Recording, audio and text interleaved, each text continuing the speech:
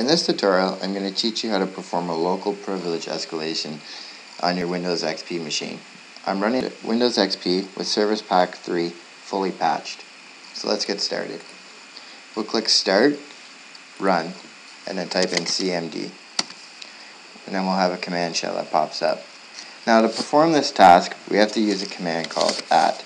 Now what at is doing is it's going to run a command at a specific time. So if you notice down here in the bottom right, it's 740.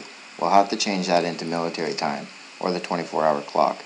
So in this case, it's 1940. But we want to run the command one minute from now. So we'll do 1941 forward slash interactive and then cmd.exe.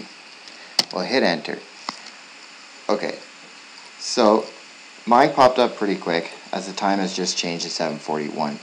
In your case, you may have to wait a couple seconds or up to a minute. From here, to perform this escalation into to system privileges, we're going to right click on the taskbar, click Task Manager, the Process tab, and we're going to shut down Explorer.exe.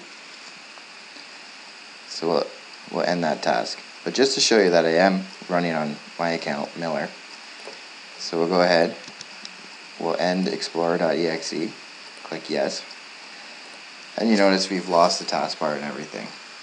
From here, we'll use this shell. Now if you notice, we asked for a command shell, but this is actually a little bit different. It's an SVC host. So we'll go explorer.exe to reload Explorer. Give the computer a few minutes to reload it. Once we perform that task, we can go ahead and we can close this window. Click the Start button after things have loaded. And you can see here, we now have system privileges. Now, system is a much more powerful uh, right than admin has. From here, you can alter administrator accounts, passwords, delete anything you want, and pretty much perform any task that you wish.